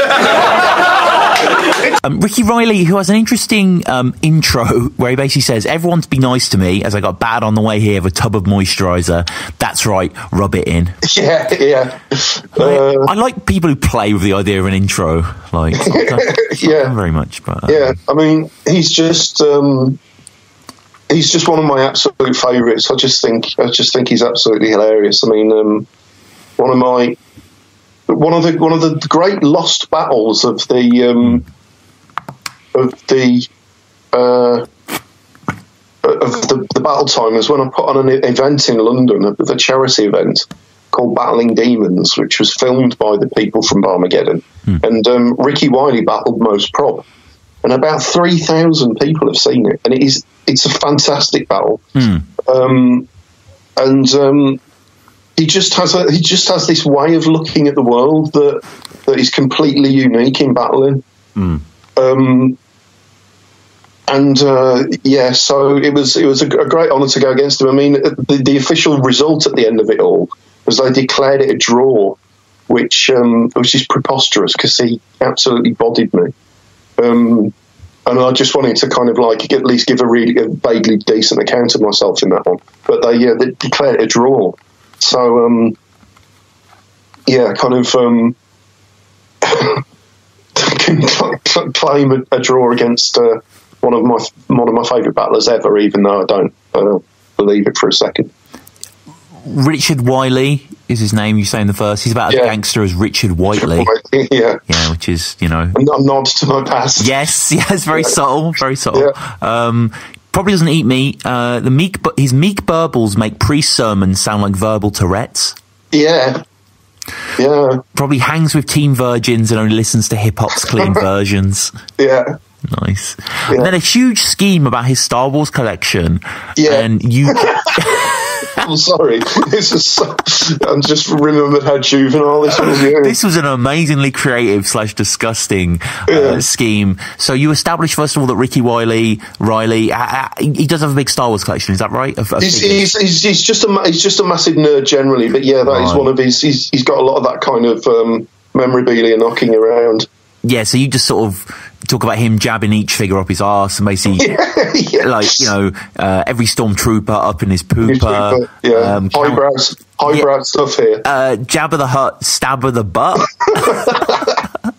yeah, um, I, can, I, can, just imagine like Soul seeing this and feverishly taking notes and. Uh, um, and it's quite funny actually because he mentions the collection in a flip at the start of his first. Yeah, yeah. He's battling Watto, yeah. quite nice. Um, you have a, you have a hobby photoshopping tits, um, and there's something wrong about an idle age man trying to spit because all you remember from because you remember it from 1981, you prick. Yeah. Um, um, and then, uh, I mean, Pete, we have something that happens in so many battles. Um, I've seen this live many times, seen this in the past. Uh, people talk about the vastness of their opponent's mother's vagina. yeah. Yeah. So common. it's just like, yeah. Really. Yeah. I um, mean, I kind of um, I, that was I did I did it against Bentlegs as well, and um, and sort of it was uh, it, you know one of my favourite lines is from Luna was the one about um, uh, fisting her and someone someone shook my hand, right. Uh, and um, yeah, so I kind of riffed on that kind of variation a, a bit, and um, and I was um, the uh, she's she's taken more cocks than he's had wet dreams about warlocks, and it's so deep and capacious it's inhabited by Morlocks. Mm. Was um, was one that I was quite fond of because uh, I think it's like a is it Journey to the Centre of the Earth, the Morlocks? Which uh, I think so. Yeah. So um, the Time Machine as well. I know. Uh, yeah, yeah, yeah. H.G. Wells references yeah. anyway. So. Yeah, yeah, yeah. Um, Okay, yeah, it, it works, and they, it's fun kind of back to front from you guys both in this. Um, you talk about chuck a 10 pence, 10 pence piece, so deep in a gash, you have to wait 20 seconds to hear the splash. yeah. Um, see more seamen than voyages of Columbus. um, so many, so much hemorrhoids that when you fist, it feels like a braille reading. yeah, I was pleased with that one. Holy shit. um, and and then Rikky in his second talks about a blog that you wrote about pizza. Yeah, oh yeah, I used to do a, the pizza blog. What and, um, uh, it's, uh, it's it's not there anymore. Oh. Um, I used to do I used to do yeah, kind of blog about pizza in my spare time, and actually um, involved like it, Don't Flop started even sort of seeping onto that and I did like um, rappers' uh, favorite pizzas. Battle rappers saying what their favorite pizzas are, and fantastically, um, Pedro's favorite pizza is from a pizzeria in in Harrow called Pedro's, which I thought was fantastic. The fact that um, there's the distinct possibility that he's he's named after his local pizza pizzeria or something, but um, but yeah, so I did it. Yes, I did do a blog about pizza. Yeah, and you you did. um, you go through his album um, in your second. Yeah. Um, you know, go all the tracks are shit apart from Stingray, which he had nothing to do with, and Badman, which is basically an O'Shea track. Yeah. Um, you know, you say fuck Sprung, you fuck O'Shea, fuck Innuendo twice, Calcium Quid. Uh, Actually, he's really quite nice. So that's. Uh, yeah. and, and, and, and Rikky does have that, you know, he is quite a good writer. He can write quite funny stuff. Uh, you have more captive miners than the Chilean cave I mean, collapses. that's that's an amazing. You get on your knees to bow that. Yeah, I mean that was just that was just fantastic because that was a, that was a flip as well. Uh, I don't believe that was um, I don't believe that was a written because he, um, he he sort of uh, did some rubbish uh, paedophile bars at him and uh, he called calling me a pedo. You, you must be having a laugh, kid, because you've been in more Chile, um, you've been in more captive miners than Chilean K collapses or something like that. Yeah. You've had more captive miners than Chilean K collapses, which was obviously at the time. I think it was pretty recent as well. He, he, So yeah, I mean uh, that was I was just like, okay, I'm getting I'm getting bodied here, but at least I'm enjoying it. he does something pretty dark actually, where like he says, "Now I'm going to talk to Peter in the future," and like he goes up the screen and he just shouts, "Do it!" It's crazy. Yeah, yeah. Um, he's pretty pretty macabre that, but a fun battle from both of you. Um, very very watchable, and like Rikky, madly underrated that guy. Yeah, yeah. the- the- said um, the, the guy who um, who runs Ratting Wire, out David. Um, he uh, he said he was um, he, he was there was there was a, a, a brief period when everybody was doing that. Is it Ask.fm? Yes, so you yeah, could yeah, like sort of- ask people yeah, and like anonymous, there, yeah. there- there was a minute when when everybody went like crazy for Ask, Ask.fm and like battlers were going on there and and um somebody somebody asked him what his favourite battles he'd seen live in any league and um, and me against Rikky was was one of them which is a great uh, a great compliment from somebody who's presumably um, presumably seen a lot of a lot of battles um, but yeah, it was just great. It was great to be a part of that one. Um, it, it was, uh, you know, the, the, the sort of the, the filming quality wasn't great or anything, but um, the thing that I liked about that was um, when I got into the kind of you know fuck scouts MCs, low down louse MCs, break into your house MCs, take a shit on your couch MCs. I was watching it back and I was like, wow, you know, you're really, you're really kind of get, getting aggy, Going in. yeah, you know, like really, really sort of building up a head of steam, and um, and uh, yeah, just I, I was just like, it was there was like a real kind of disconnect, you know. I did, I was like. Who is this guy? you know, sort of roaring insults at, uh, Yeah. i- i- you know, in a, in a room half full of Liverpudlians, Right, right. screaming, you know, fuck scarce MCs. Um, but yeah, that, that just sort of like again, you know, kind of further cemented how much I was enjoying it. and you know clearly because you are battling so much as we say. And um, we're getting onto the sprungy battle now. So Yeah. you know we're almost six seven months after the bent leg's gone. Did you ever think like oh Don't Flop again? Or was it always i'm going to carve it out on a separate what, way it, or? what it was, I spoke to um, I spoke to Rowan about it. They were doing, they were preparing to do Birmingham. Right. Uh, in Birmingham, and I said, um, I said to him, you know, would, would there be any chance of me getting on the undercard because I'm because I'm obviously local? Mm-hmm. And he said, you know, we our idea for, for you against Bentlegs was for it to be a one off. You know, um, we, it's it's cool that you're kind of battling in other leagues, but we're not. You know, we're not kind of like we don't really. Basically, we don't really see you as a battler. And I was like, well, that's that's fair enough. You know, uh, uh, because I, I didn't either. Um, and I could I could completely understand his, his, his thinking why. Um, and obviously, eventually, I did get invited back and, and, and was unable to do it for unfortunate reasons, which I guess we'll get to. Um, but yeah, so um, so it was very much a case of okay, well, if I can't battle for Don't Flop, which is fair enough, then I'm definitely going to do more for Barmageddon. By this time, me and Prob had spoken, and we're, we're sort of like mad keen on battling each other.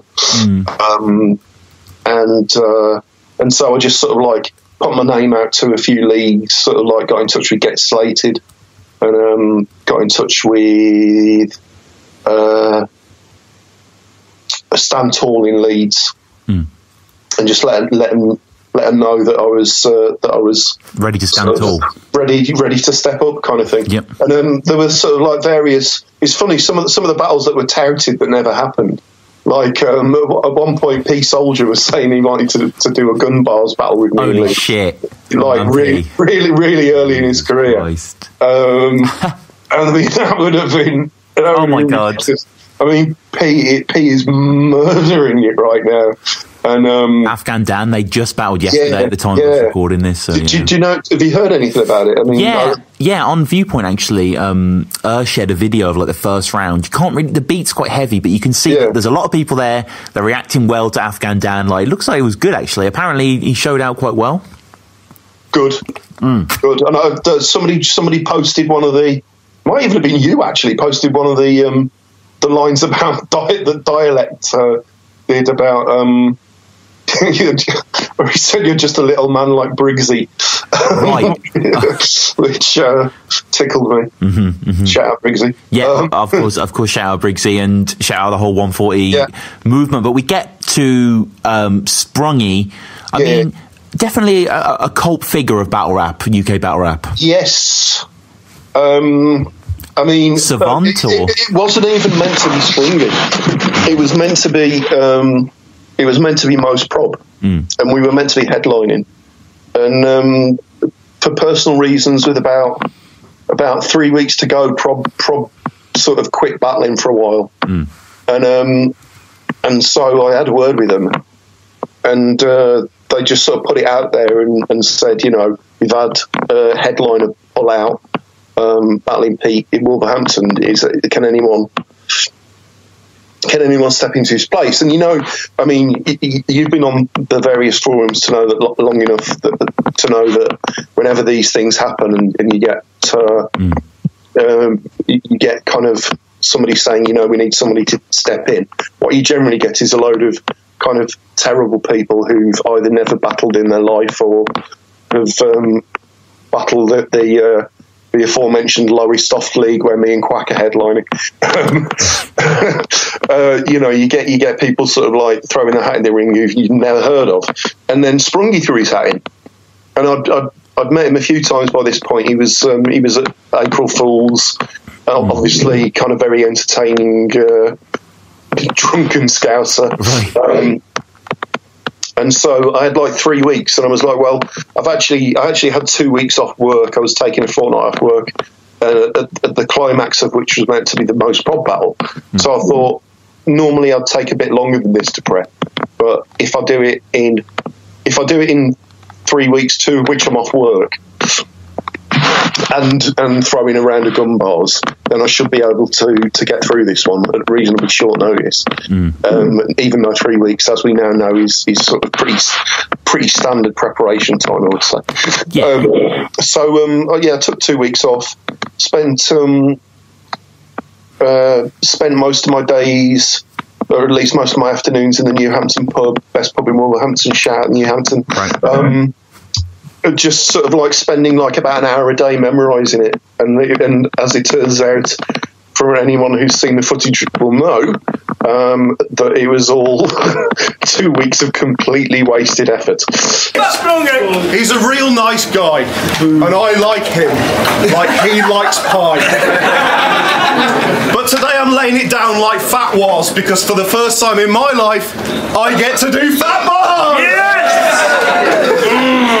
You don't heat the party. You don't even warm the party. You're just a portly, farty Paul McCartney who's probably got some poorly arteries. And so it's completely wasted things.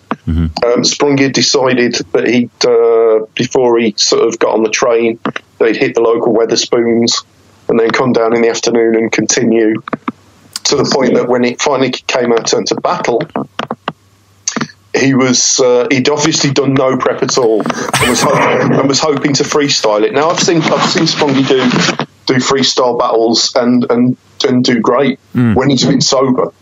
But um, with me, he was he was I mean he was completely hammered. Um, and I think the best bar, the best bar that he got out was, um, you know, Pete writes a pizza blog, Pizza Knob, Yeah. and uh, and uh, that was about uh, that was about all he could manage. Yeah, it was. It, it's not. It, again, it's good from you still, and it's nice to rewatch it back. Yeah. Um, you know, he looks like so for the first time in your life, you get to do fat jokes to an opponent. Yeah. Um, portly Paul McCartney with poorly arteries. Yeah, portly farty Paul McCartney. Yeah. Um, he, he makes you sound like Mog Deep. Such a faggot should be served with peas. I mean, a cash. I mean, sorry, Sprungy uh, Pete. It's just uh, it's a bit of a train wreck, isn't it? It's just a complete train wreck. Um, yeah, uh, there's no two ways about it. It, was, um, it was. I, I've had three train wrecks in my life. That was. I mean, and I'm not talking about choking. I'm just talking about like the kind of the idea of the battle or, or whatever, just not coming off at all, or just being met with stony silence by the um, by the crowd. Now, the, one of the other ones was um, Santa Claus versus the Queen, which I'm, I'm, i think you're familiar with because um, Bard spoke about it. and, Yeah, uh, pamphlet as well. We sort of mentioned it. Briefly. yeah, I'll, I'll talk about that briefly at, at some point, yeah, which is basically going to be me, me kind of doing my mea culpa, giving my excuse for why it was so bad. and the other one was was me against Mos Prob, which um, is just a bizarre thing, really, really bizarre thing. Is it, is it Um, released? Yeah, it is out there, Okay. um, but basically we did it. We did it. Toucan tried to set up a league in Ipswich, which is a fucking weird place anyway. Yeah. um, and um, and it was everything about it was weird. The venue was weird. Um, it was like in this room above a bar that felt like a kind of like a music room in a school sort of thing. the, the crowd had had got no idea what was going on. Didn't know didn't know my backstory. Didn't know his backstory. Just weren't a battle crowd. Um, it's- uh, even the like the, the, the way the, the angle that they filmed it from was was terrible. So so that I, I had some more props that I needed, where I did a kind of like an Adam the Rapper against Adam Feldman thing with their little faces on sticks. But in order to hold them facing the camera, I was then facing away from the crowd, and it was uh, yeah, it was it was pretty bad. Um, but yeah, I mean the, the Sprungy the Sprungy one was an absolute was an absolute train wreck. And yet, at the end of the day, as I said, um, as as, as I'm fond of saying, you know, you can only beat what's put in front of you. And unfortunately, Yeah. it was effectively a walkover. But I came out there, so my record at this point was um, was uh, four battles, four battles unbeaten. And was thinking, well, you know, this is wonderful. And then I went up to back to Rapting Wire to battle a guy called Brockside, who's um, a Scottish guy, who lives in Warrington. Shout out, Bill. Um, and, uh, and and choked uh, choked twice, including um, the best part of most of my second round, and uh, and so tasted defeat for the first time um, against. Uh, and I, I kind of reasoned it out by I didn't really know Bill at the time. I mean, I'd, I'd sort of briefly met him at one of the previous Rapting Wires, but I didn't really know him, and I realised that in order to really to, to kind of successfully write somebody, for me personally, there needs to be at least some some kind of personal connection of, of sorts there, where you've actually where you've actually had a bit of time to kind of get to know the person. So I found it quite difficult. Still, only lost it two one because I did a I did a Scottish football Scottish football team scheme that. Uh, that went over really well, but uh, like I say, choked choked for the first time, two two rounds out of three, and um, Yeah.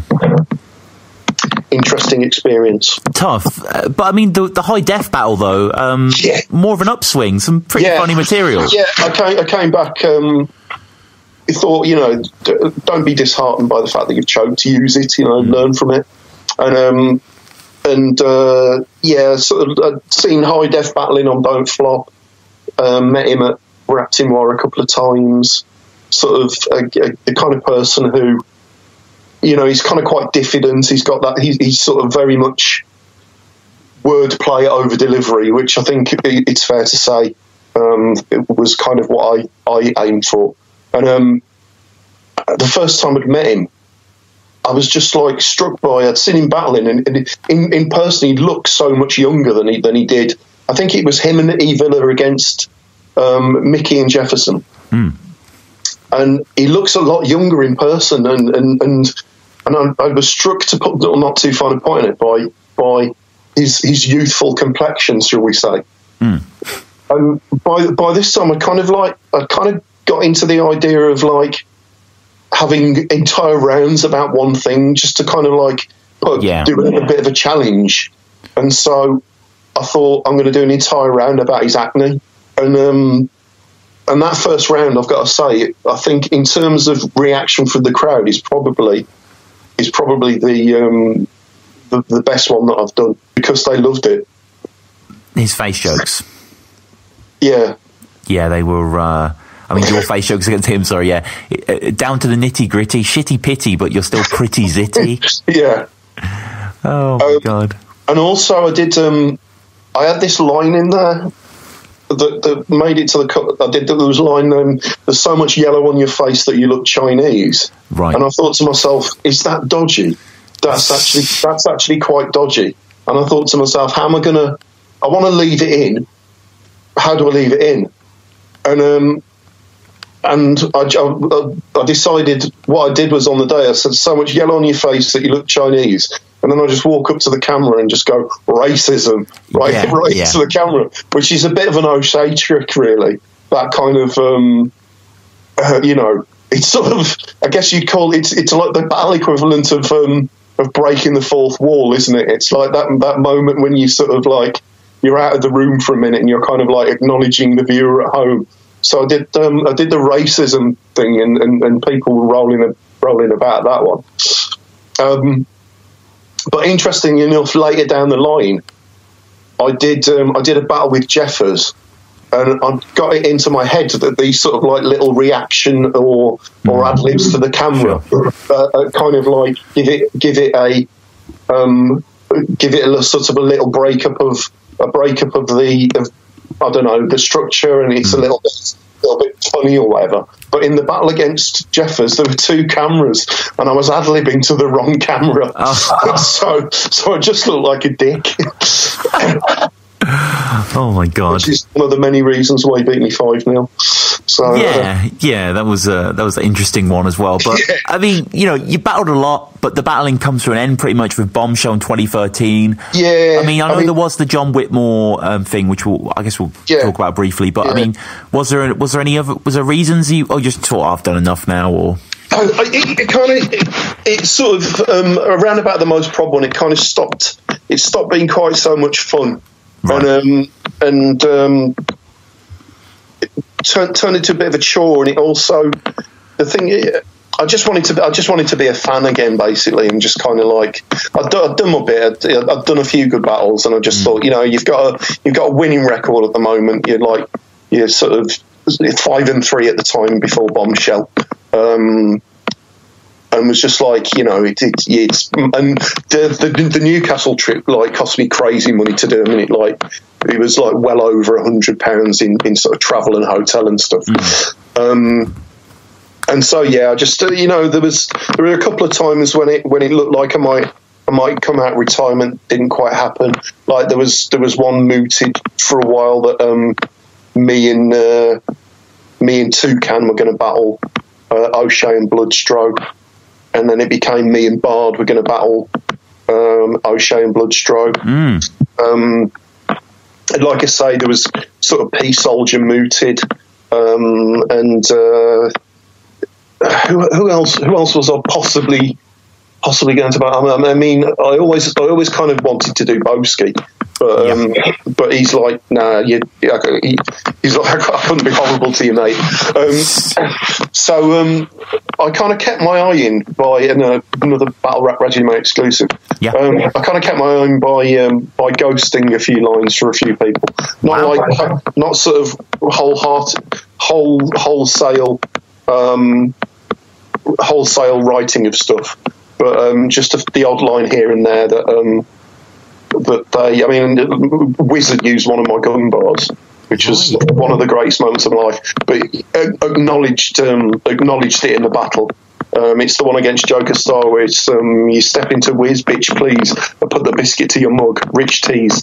Um, and uh, so that was great. And uh, yeah, there's a few of the people who I, I won't name because they'll uh, I get very angry with me. But I just sort of like was suggesting stuff here and there, and still writing. I mean, like I wrote, I did write pretty much um, an entire sort of half a two on two for for O'Shea against, uh, O'Shea and Bloodstroke, but um, but it never never materialised. And as as time went by, I just kind of like got used to going to the events and being the sort of the grand old man and occasionally posing for photographs with fans and stuff, and uh, but not actually. Yeah, you know, the sort of the itch had gone Hmm. a little bit. I mean, naturally, it just happens. Yeah, it to, does, To battlers as a whole, like you know. Yeah, you know, everyone gets to a certain point, and I did like I did eleven in total in uh, in eighteen months, which is which is you're talking about kind of uh, almost like Kimmel levels of Yeah, yeah, no. for, for that No, for that right. period. You're right. Yeah. But I, I think I think Bombshell was a good one to end on because it was a great battle. And again, she sort of um, I think she uh, she sort of got the the makeup of the crowd really wrong and thought that if she was talking about you know the mental health issues of the stalkers or the countdown or whatever, they'd have any idea what she was talking about. Right. Of course, they didn't. Whereas I just went, you know, she's a goth. She's got a big nose. Um, she makes beats that aren't very good. And um, and then great big Newcastle United players scheme at the end to just sort of like endear myself to the crowd, do a slow it down. Um, and uh, yeah, so that was uh, that was it. That was my my my final actual appearance.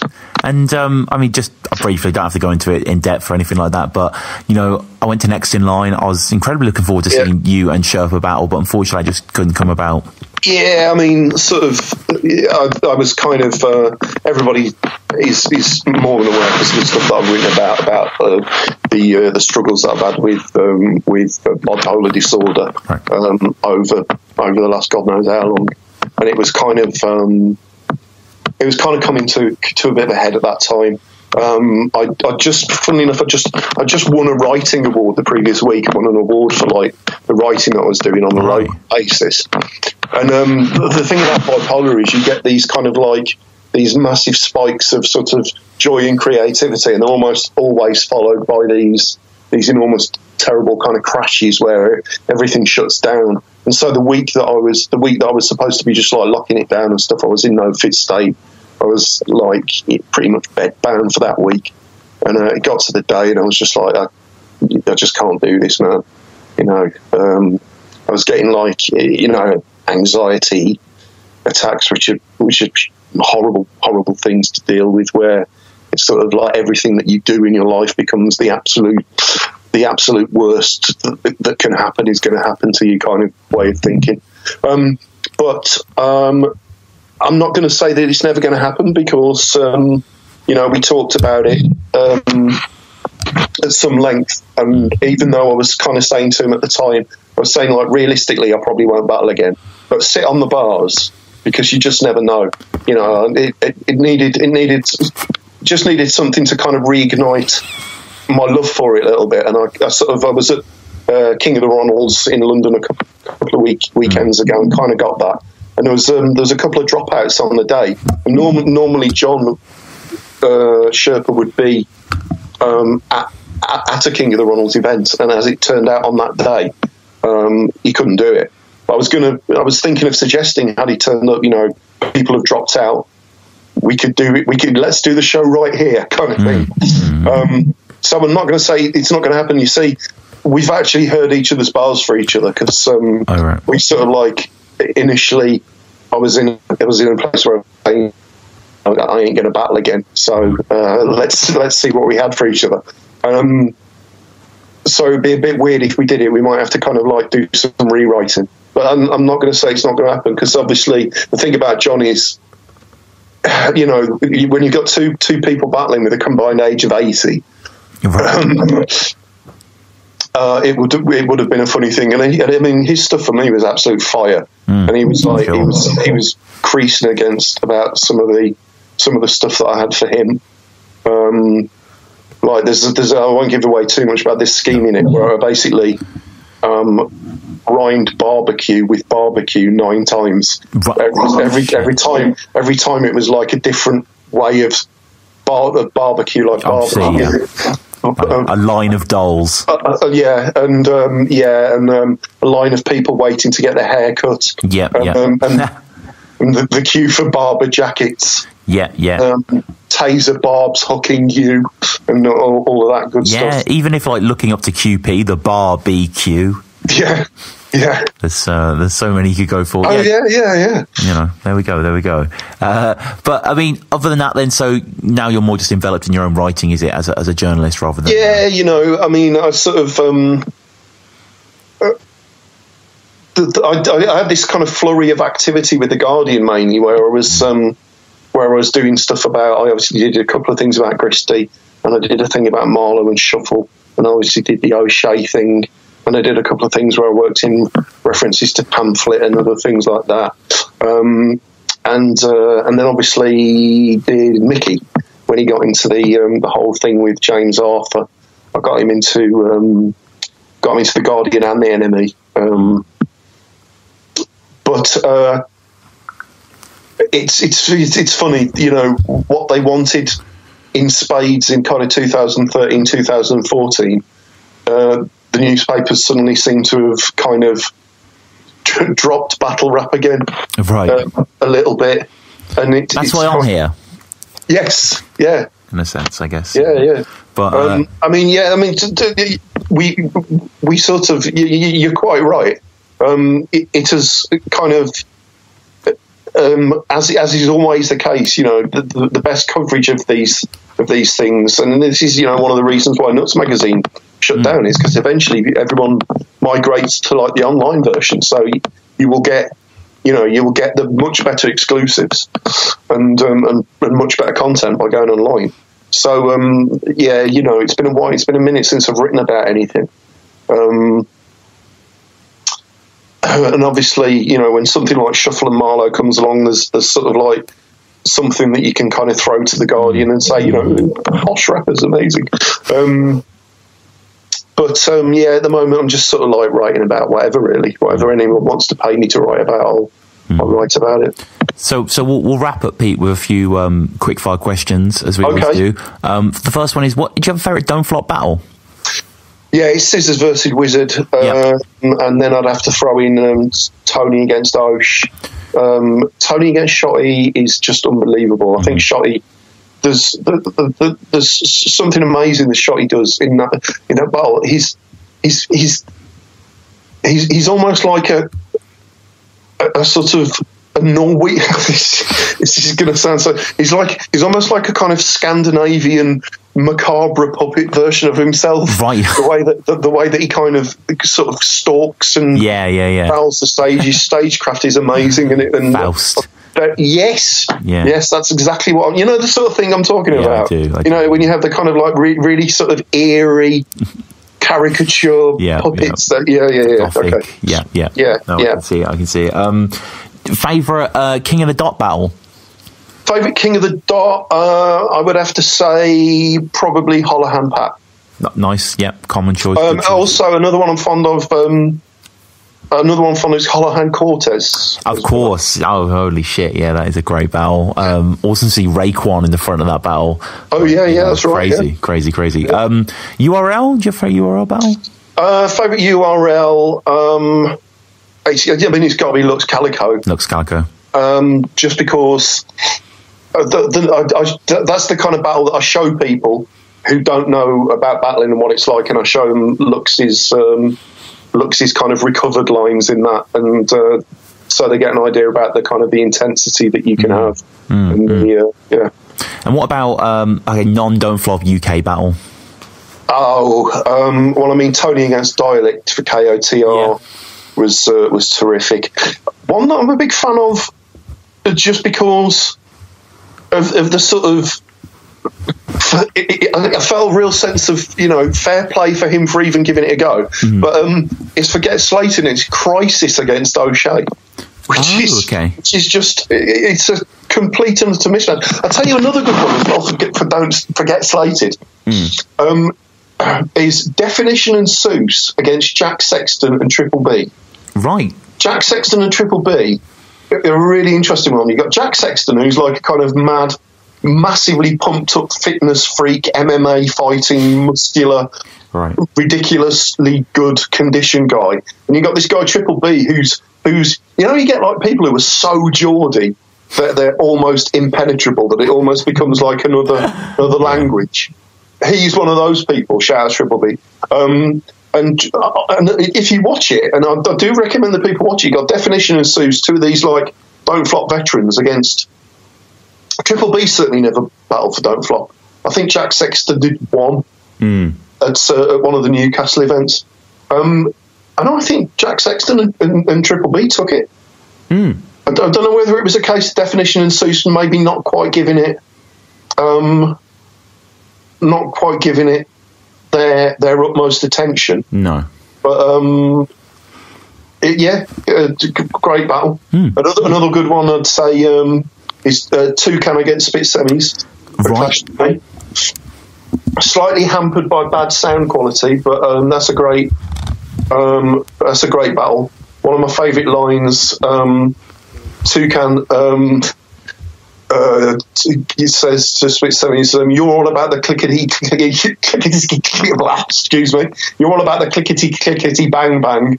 I'm all about the clickety clickety jazz hands." And then does uh, does jazz hands, which was uh, which was funny. So, So- yeah, that, so- those are Yeah, and final two questions, uh, not non battle rap related. The first one being uh, your favourite film. our uh, favourite film is Jaws, Oh, yeah, classic. which because I've got I've got a thing about sharks, but it's not about shark a shark in a, in a, in a sense. It's not. It's not No. is it? The three Uh, ages of men on that boat. It's about exactly yeah. It's about how men interact with men. Yeah, it's fantastic, fantastic movie, no Yeah. doubt. Um, and finally, your favourite musical artist or band that are in no way hip hop related. Okay, um, that's easily done. And again, this is something that you can actually read about on uh, on the Guardian website. My, my favourite non hip hop band are the Cardiacs, Right. who are um, who are kind of like a, a, a, I guess you'd call them like. I mean, they, they were called prog punk by a lot of people. Um, it- uh, they're, they're absolutely unique. Um, and I did a, I did a blog about the. Uh, it's a really sad story. They're like the lead sing, the lead singer is a guy called Tim Smith. They're from like Richmond, I think, or Kingston or something. And uh, incredibly creative guy. And um, and then he was um, he was at a My Bloody Valentine's gig in I think about 2008, and he had he had a massive stroke, and then while he was recovering from this stroke, had another massive stroke and a heart attack. As a result of which, he's currently he's basically just having to learn everything. You know, he's got to learn, having to learn to speak, having to learn to move. And, and, and he's basically effectively living in a, a kind of locked-in syndrome sort of thing, um, where he can't like communicate with the outside world and it's just such a, it's a terribly sad story. You know, Yeah. it must be awful to kind of like have all this, you know, what I presume is the, the creativity still sort of exists in his head, but um, he just has sort of no no way of, of getting out of it. And I just hope that you know, much like I mean, Edwyn Collins uh, recovered from a stroke, and you just hope that. Uh, Tim Smith of the Cardiacs does the same, but yeah, Cardiacs Good music. it's just crazy. I mean, it's like, but then it, it, it never it never fails to amaze me. Some of the kind of some of the weird stuff, like like some of the other guys are into, like um, like Mickey Mickey Worthless, for example, is a massive Joy Division fan, Right. Which, uh, which you know, you Yeah. just you just really don't. Boy division, more like. like Yeah, yeah. Getting joyed off. Boyman Division. yeah, boy Um, division. uh, and uh, do you, do you- I'm going to end on this actually. Yeah. One of my one of my favourite one of my favourite rumours that I heard because obviously you know in, in by the nature of what we do in this kind of weird um, weird subculture of ours, what's what's fact and what's and what's not. Um, it kind of gets gets muddled up quite substantially, and you don't know you don't know who's telling you the truth and who isn't. The best rumor I ever heard out of Don't Flop was that um, was that Pedro is a classically trained pianist. Right. I think I've heard that as well. Yeah. Yeah. And I don't know if it's a Chinese whispers thing because I've tried to ask him about it. And he's kind of like, he's sort of cagey on the matter. I don't know if he's like, sort John of- KG.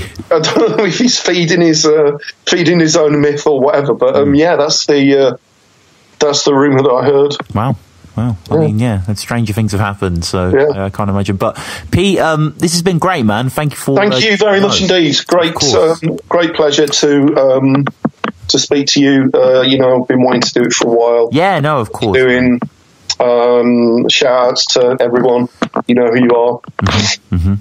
Um, uh, how do people get at you? How do people find your writing? Okay, um, if you if you do any any search on the Guardian website, you can find all the stuff that I've um, that I've done for for them on, on Don't Flop. There's about five five or six pieces. If you just do a search, Pete Cashmore Don't Flop, it'll come up. So that's um, theguardian.com slash Pete Cashmore. Uh, Twitter, as we know, is Tweet Cashmore, not to be confused with Pete Cashmore, Sure. who's the the famous Mashable guy yeah. and uh, and that's about it at the moment. Um, yeah, that's about it at the minute. But Pete, um, this has been great. Then, thank you for uh, coming Thanks, on, man. man. No worries. Thank you. Cheers.